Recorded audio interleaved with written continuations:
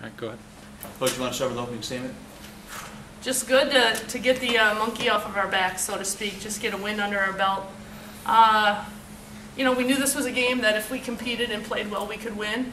Uh, but we felt like that with most of our games. Uh, you know, just little things. You know, in the previous games, we were just slipping up a little bit, not being able to put a full 40 minutes together. Today was a little different than our first four games. Usually we're a great first half team. Uh, I don't know which team played for Benedictine in the first half today, but uh, hopefully the product we play uh, showed the second half that will be kind of indicative of what you'll see to come. Uh, defensively, you really your team really locked down the post pretty much the whole game. I think their two leading uh, scores only combined for seven points. So was that really a, a main point of emphasis? Was really trying to defend the rim? Yes, I mean we talked about that the last two days of just that we were going to have to play great team defense today. We could not rely uh, on our posts. We struggled at uh, Concordia Chicago with one-on-one in the post, and you know we just said it's going to take all five girls really knowing where their posts are. You know their posts came in averaging I think 26 points to hold them to seven. That's that's quite a great effort for our kids. Uh, Michelle, you had a huge second half, scoring 12 points. Did you, uh, after the first half, did you kind of come out with the thought process of wanting to be more aggressive? Yes. Um, the first half, as you saw, was not, not too good. We weren't too aggressive, We weren't scoring.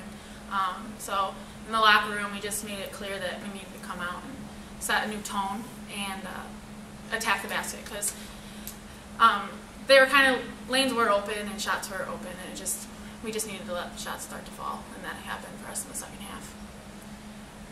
Um, you, Coach, you used, uh, I think you used 13 different people in the first half. Was there a kind of a, a reason behind that? We're still trying to figure everything out. You know, uh, I think our post rotation is pretty good right now.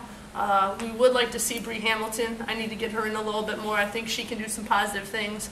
But that guard rotation is still up for grabs. We're still trying to, to find that one or two uh, young ladies that are going to step up in that role position and, and, and grab the bull by the horns. I thought uh, Enzo Ronaldo really did a nice job, provided a great spark for us. So we're still kind of, like I said, it's, it's a learning process. We have a lot of young kids.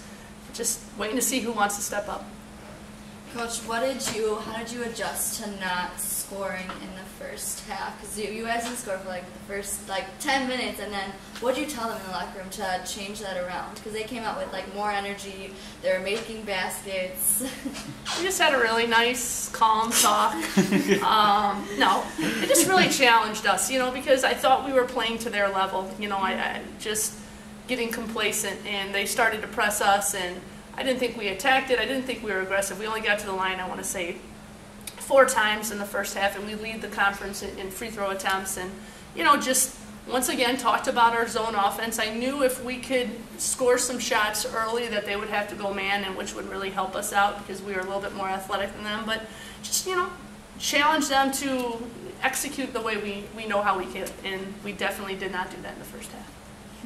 Uh, Lakeland pretty much brought some sort of press all game, whether it was like a one-three-one look or bringing uh, someone up to pick up the point guard full court. Did you really expect to see them press pretty much all game? Uh, we knew that they pressed on made shots. I, you know, they hadn't pressed that much in the games that I've watched prior to, but you know, it, it is what it is. And I, you know, we talked about in the locker room afterwards that the North Central game, such a wacky game, their style of play. But it, I'm really glad that we played them because we're not going to see anything as helter skelter as what we saw against them. And I thought we did. I know we had 17 turnovers. I, a lot of those we, and we only had six second half.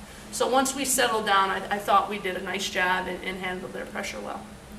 Uh, Aurora coming up pretty soon, so the team really excited to take on the rival here at home? Yeah, we are. That's always a fun game for our kids, and there is a nice rivalry. And I, I think, you know, we're excited just to try to build on this. You know, we we know that we're a better team than what our record states, but you know, there's nothing we can do about the past. We're just really excited to, to come in Monday morning, have a great practice, and we get to play three games next week, and hopefully pick up three wins. Thanks, Coach. Thank you. Thanks, Michelle.